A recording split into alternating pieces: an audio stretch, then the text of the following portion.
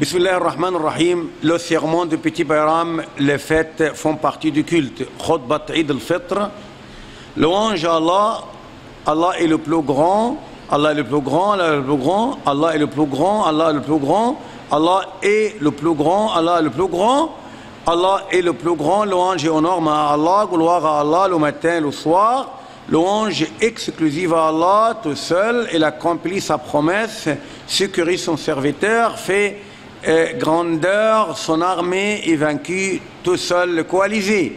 J'atteste qu'il n'y a point de divinité en dehors d'Allah et que notre maître et prophète Mohammed et son serviteur et messager, oh Allah, accorde ton salut et ta bénédiction à lui, sa famille, ses compagnons et ceux que leur suivent d'une rectitude jusqu'au dernier jour. Ensuite, Allah, gloire à lui, cria les serviteurs pour qu'ils l'adorent. Il dit je ne créé les génies et les humains que pour qu'ils m'adorent.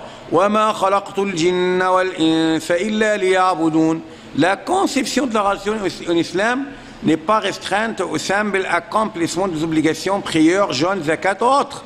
Il s'agit d'une mission qui renforme tout le, le domaine de la vie, tout ce qui s'émane de musulmans, dire actes, sont, euh, euh, soit-il obligatoires ou recommandables, tout ça fait partie de l'adoration pour laquelle le musulman est rétribué.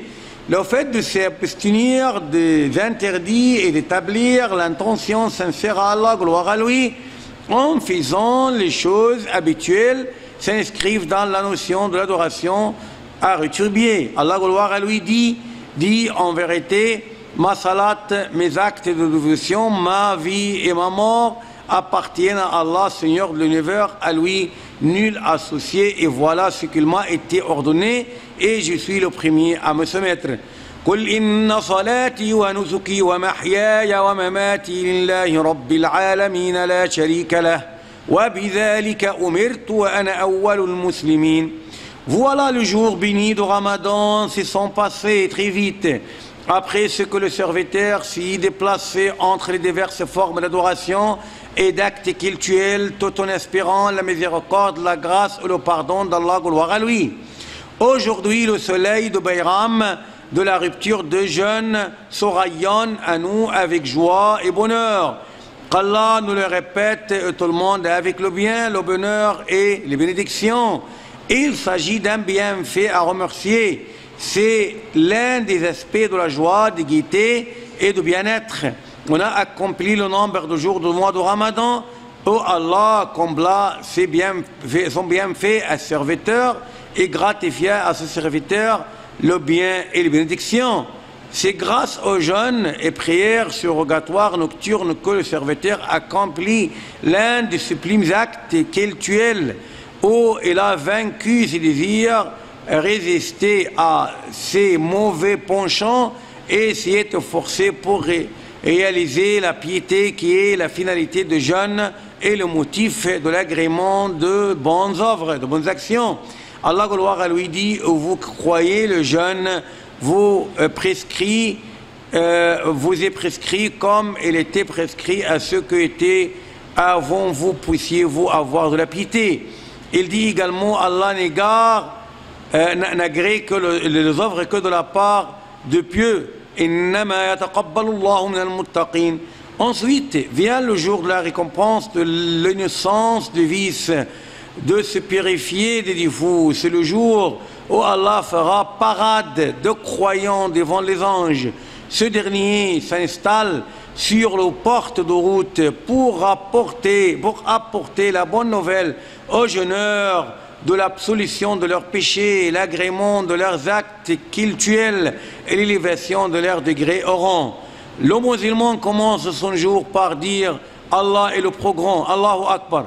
Faire la prière et se rapprocher d'Allah, gloire à lui, par obéissance après obéissance. Après le bienfait de jeûne et de prières surrogatoires vient celui de euh, euh, euh, euh, c'est celui de l'Aïd, point de divinité, celui de dire, point de divinité en dehors d'Allah, et Allah est le plus grand. Allah, gloire à lui, dit, afin que vous en, vous en complétez le nombre et que vous proclamez la, proclamiez la grandeur d'Allah pour vous avoir guidé et afin que vous soyez reconnaissants.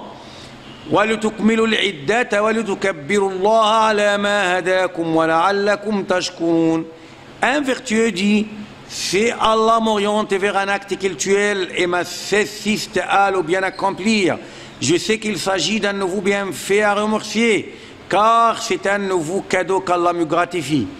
Comme Ramadan est un mois d'adoration et d'obéissance, sentir de la joie de Bayram est une adoration et obéissance à leur côté. Le musulman a droit de se réjouir de petit Bayram. Euh, Allah gloire à lui dit, dit ceci provient de la grâce d'Allah et de sa miséricorde. Voilà de quoi il devrait se réjouir. Euh, c'est bien c'est bien euh, que tout ce qu'il tout amasse c'est bien mieux que tout ce qu'il amasse قل بفضل الله وبرحمته فبذلك فليفرحوا هو خير مما يجمعون Le prophète sallallahu alayhi wa sallam dit Le jeûneur a de joie lorsqu'il rend son jeûne. Il s'en réjouit et lorsqu'il rencontrera son Seigneur, il se réjouira de son jeûne. Pendant les fêtes s'incarnent les aspects de la joie licite. D'après Anas qu'Allah l'agré, le prophète sallallahu alayhi wa sallam vint à Médine. Ses habitants avaient deux jours de fête. Elle leur dit C'est quoi ces deux jours? Ils répondirent Il s'agit de deux jours au cours desquels nous nous dévitissions avant l'islam. Le prophète de répliquer Allah, gloire à lui, vous les a remplacés deux autres jours. Le jour de la rupture de jeûne et celui de sacrifice. C'est l'un des aspects de la tolérance de l'islam et la grandeur de ces rituels. Le jour de Payram est une joie, bonheur et gaieté pour tout le monde. L'un des aspects de la joie légale au cours de fêtes est de dépenser en largesse à la famille, aux enfants et petits-enfants dans le cadre de la puissance financière, aliments, poissons, vêtements, dépenses, entre autres. Tout cela est à rétribuer. Le prophète sallallahu alayhi wa sallam dit à Saad ibn, ibn Abi Waqqas qu'Allah l'agrée, toute dépense que tu fais cherchant l'agrément d'Allah, tu en seras rétribué, même la bouchée que tu mets dans la bouche de ton épouse. Il faut également que l'homme se soucie d'apporter la joie à tout le monde, et surtout le pauvre, les indigents et les orphelins. Allah, gloire à lui, prescrit l'aumône prescrite de la rupture de jeunes comme continence et enrichissement de pauvres ce jour-ci. Le prophète sallam dit épargnez-le le médicament de citer ce jour-ci. C'est-à-dire, donnez-les, c'est-à-dire le pauvre, euh, ce qui les épargne de tendre la main dans le jour de Payram. Le verbe enrichir, employé ici, est très significatif. Le prophète sallam ne dit pas ni donner, ni assister, mais là dit enrichissez, c'est-à-dire il faut lui épargner euh, l'indigence. Le deuxième sermon, louange à Allah.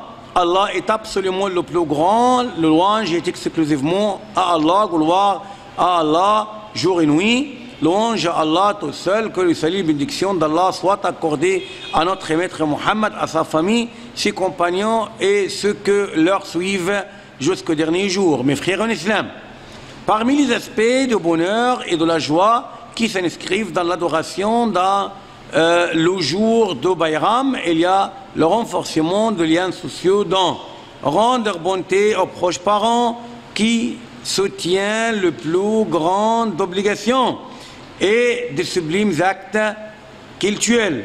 Cela propage l'amour entre les proches parents, lit le cœur, accroît la vie, élargit la subsistance et bénit les biens.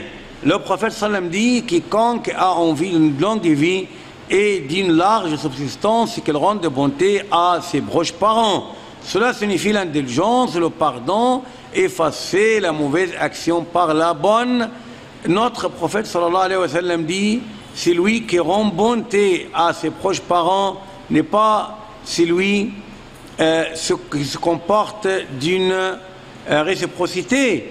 Il est plutôt celui qui, lorsque son lien de parenté s'interrompt et le rétablit, fait partie de ce lien euh, accentué par le noble charia, le noble charia pour renforcer, renforcer les relations sociales entre les humains par rendre visite, organiser des rencontres, serrer les mains, se féliciter, se consolider, s'interconnaître et propager l'interclémence parmi les humains.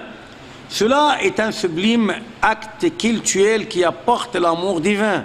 D'après Abu Huraira, le prophète sallam euh, dit, leur euh, informa qu'un homme rendit visite à un frère dans un autre village. Allah lui a installé sur la route un ange. Lorsqu'il passa, l'ange lui demanda Où vas-tu? Il répondit J'entends rendre visite à un frère dans ce village. L'ange reprit A-t-il fait à toi une faveur que tu cherches à récompenser? L'homme répondit Mais non, tout simplement, je l'aime pour Allah, gloire à lui. L'ange dit Je suis l'envoyé d'Allah à toi, je euh, t'informe qu'Allah t'a aimé comme tu as aimé ton frère. La guidée du prophète sallallahu alayhi wa sallam, ce jour-ci, exige que le musulman sorte vers la salle de prière à pied. Ali qu'Allah l'agré dit, c'est un acte de sunnah qu'on sort, prière, à la prière de Biram à pied. On ne prend de monture que par excuse ou à cause d'une longue distance. Le prophète sallam conseille que le musulman va à la prière d'une route et on revient d'une autre. D'après Jabir ibn Abdullah, qu'Allah l'agré, lui et son père, le jour de Payram, le prophète sallallahu alayhi wa sallam changeait de route pour que le doux sens lui faisait témoignage le dernier jour pour saluer le plus grand nombre de, prières et pour échanger les félicitations ce jour-ci. D'après Jubair ibn Nufayr, qu'Allah l'agré, lorsque le musulman se rencontrait le jour de Bayram, il se disait qu'Allah agrée nos bonnes œuvres et le vôtre. Nous affirmons que l'engagement de la part des serviteurs de faire régulièrement des actes cultuels après le mois de Ramadan est un indice sur l'agrément des jeunes. Si Allah nous gratifia le bienfait et la grâce pour jeûner le mois de Ramadan, le mois de Ramadan il nous est donc recommandable d'observer le jeûne au cours des six premiers jours de Shawwal. Le prophète nous exhorte de les jeûner en disant quiconque observe le jeûne de Ramadan le suivant de euh, euh, six jours de Shawwal est comme s'il jeûne l'année entière. Si, euh, si six jours complètent la rétribution de jeûne de toute l'année, Soyons soucieux de les jeûner pour nous rapprocher d'Allah et garder notre espoir de son agrément.